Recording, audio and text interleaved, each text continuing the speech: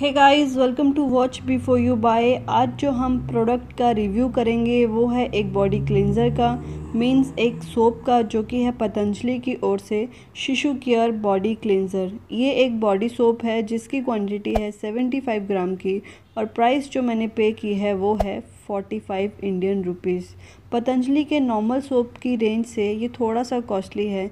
इस साबुन की शेल्फ़ लाइफ है 24 मंथ्स की. एक सोप और क्लिनज़र में जो डिफरेंस होता है वो ये कि क्लिनज़र सोप से ज़्यादा माइल्ड होता है. सोप्स में जो हार्श केमिकल्स का यूज़ होता है वो क्लिनज़र में नहीं पाए जाते हैं. क्योंकि एक बेबी सोप है तो इसके जो इंग्रेडिएंट्स होते हैं वो वैसे भी एक नॉर्मल सोप से माइल्ड ही होते हैं. इंग्रेडिएंट्स की बात करें तो इसमें है बादाम तेल, नारियल तेल, जैतून तेल, हल्दी, नीम, पुदीना और टंकन शुद्धा मीन्स बोरेक्स प्योरीफाइड इंग्रेडिएंट सारे के सारे हर्बल ही हैं और स्किन को हाइड्रेट करने वाले हैं, जो कि एक अच्छी बात है। बेस मटेरियल का भी यूज़ किया गया है, जिसके इंग्रेडिएंट्स हैं soft and gentle cleanser base olive oil ester, shea butter, glycerin, vitamin E और सुगंधित द्रव्य। ये कार्टन बॉक्स खोलने पर ये सोप हमें सील्ड प्लास्टिक रैप में मिलता है, जो कि है वाइट कलर का और काफ़ी कॉम्पैक्ट भी है। तो मैं ये साबुन को यूज़ करने के बाद अपना एक्सपीरियंस आपसे शेयर करूँगी कि मुझे ये कैसा लगा।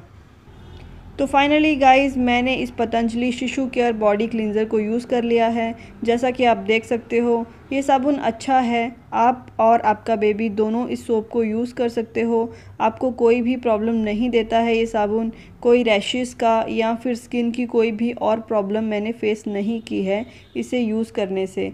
ये स्किन पर बहुत माइल्ड है। इसके यूज़ से स्किन ड्राई फील नहीं करती है और ये स्किन को सॉफ्ट भी बनाता है। इसका जो फोम बनता है जो जो झाग बनता है, वो भी एक नॉर्मल सोप के जैसा ही है। स्किन चिपचिपी नहीं लगती है नहाने के बाद और ये ज़्यादा घुलता भी नहीं है। आप चाहें तो इसे ट्राई कर सकते हैं। So guys that's it for today's video अगर इस प्रोडक्ट के रिगार्डिंग कोई सवाल या सुझाव हो तो कमेंट ज़रूर करिए। आप अपना एक्सपीरियंस भी कमेंट के थ्रू शेयर कर सकते हैं। साथ ही साथ, आप मुझे फेसबुक और ट्विटर पर भी सवाल पूछ सकते हो। लिंक्स आपको डिस्क्रिप्शन में मिल जाएँगे। Thanks for watching have a good day